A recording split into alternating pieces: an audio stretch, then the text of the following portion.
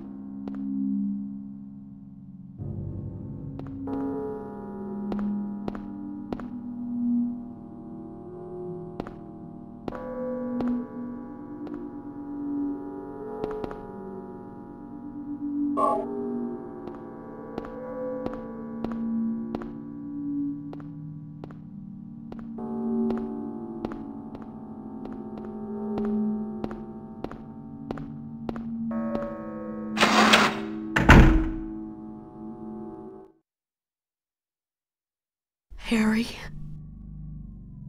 Lisa, what's the matter with you? I get it now. Why I'm still alive even though everyone else is dead. I'm not the only one who's still walking around. I'm the same as them. I just hadn't noticed it before. Lisa. Stay by me, Harry. Please. I'm so scared. Help me. Save me from them. Please. Harry.